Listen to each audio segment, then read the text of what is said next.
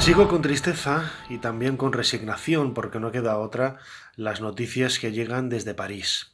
A última hora de la tarde se anunciaba a través de las redes sociales un incendio terrible en la Catedral de Notre Dame, una de las cunas de nuestra cultura, una de las cunas de nuestra civilización.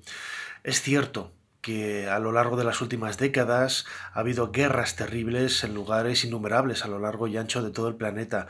Sin embargo, el ser humano se caracteriza también por sus símbolos. Y es ese aspecto, quizá también más mágico, histórico, artístico, arqueológico, es una de las piezas eh, claves para poder entender lo que realmente somos.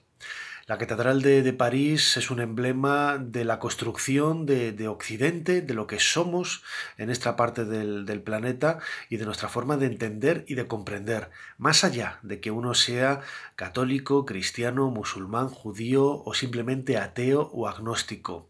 Dar la espalda al significado y al símbolo que tiene para el ser humano la Catedral de, de París es dar la espalda a nuestra propia realidad. Si lo perdemos, perdemos una parte muy importante de lo que nosotros somos. Yo siempre soy muy optimista, ¿no?